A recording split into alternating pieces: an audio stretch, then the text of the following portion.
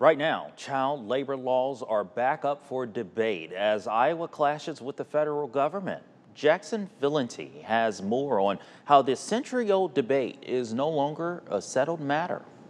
We really can't characterize this as anything other than a crisis. Jen Shear works for the Economic Policy Institute.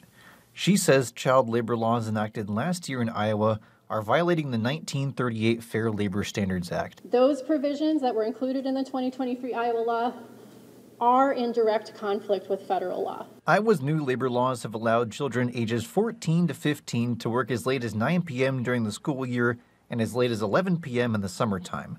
But federal labor law says they can't work past 7 p.m. and 9 p.m. respectively. Businesses that have followed the new state law are getting fined for violating federal rules. The owner of Sugar Peach Restaurant in North Liberty says he's facing a $65,000 federal fine.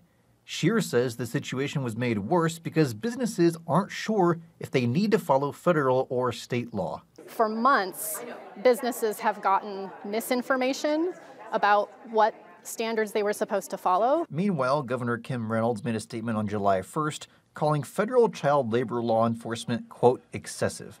But Democratic State Representative Sami Scheetz says the law is already putting children in dangerous jobs and he used the allegations of a child working at the Banjo Block construction project last August as an example. The vast majority of the blame should be on Iowa Republicans and the Restaurant Association, who clearly understood the implications of the law. Shear says the ultimate goal of the meeting is to repeal last year's child labor law so Iowa falls in line with federal regulation.